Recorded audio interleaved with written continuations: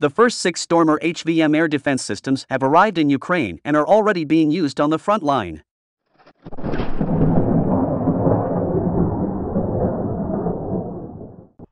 Ukraine's Operational Command South said this in a Facebook post, Ukrinform reports. The first six Stormer HVM air defense systems have arrived at the front in Ukraine. The British Invisible Stormer HVM air defense systems can see enemy attack aircraft at a distance of up to 18 kilometers, the post reads.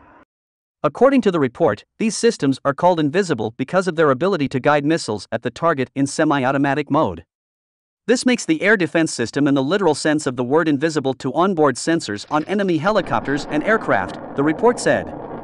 Alvis Stormer is a modern military armored vehicle manufactured by the British company, Alvis Vickers, now BAE Systems Global Combat Systems.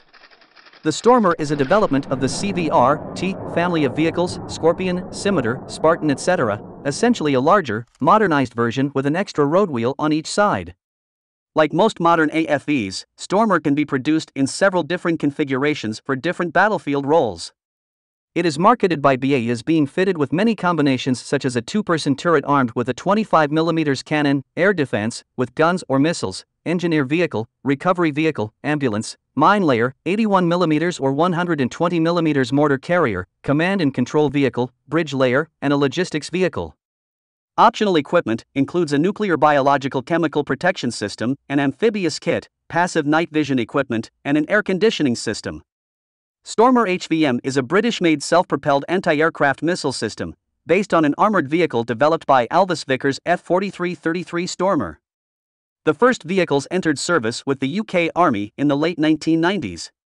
The armored vehicle is equipped with 250 horsepower diesel engine Perkins T6 3544. It allows accelerating up to 80 km per hour. Cruising range reaches 600 km. A crew of the anti aircraft missile system consists of three people. Stormer HVM can detect planes and helicopters at distances of 18 kilometers and 8 kilometers respectively. The missile is launched in less than 5 seconds after the target is acquired. The speed of the missile Starstreak is 1 kilometer per second. We should also note that the anti aircraft system does not emit anything since it has no radar station. Starstreak is a British short range surface to air missile that can be used as a man portable air defense system, MANPADS, or in heavier systems manufactured by Thales Air Defence, formerly Shorts Missile Systems, in Belfast, Northern Ireland. It is also known as Starstreak HVM, High Velocity Missile. After launch, the missile accelerates to more than Mach 4, making it the fastest short range surface to air missile in existence. It then launches three laser beam riding submunitions, increasing the likelihood of a successful hit on the target. Starstreak has been in service with the British Army since 1997.